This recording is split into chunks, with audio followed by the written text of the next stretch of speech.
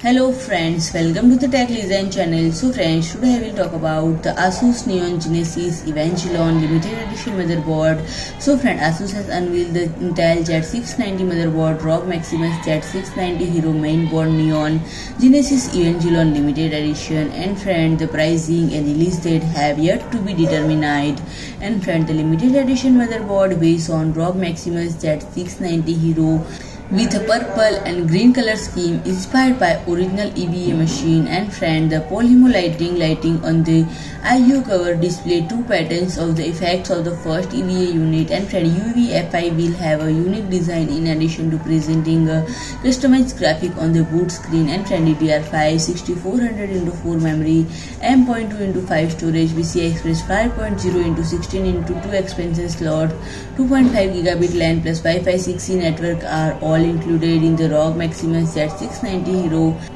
and friend the form factor is equivalent to ATI so friend if you like my video please do like share and comment. And don't forget to subscribe my channel and press the bell icon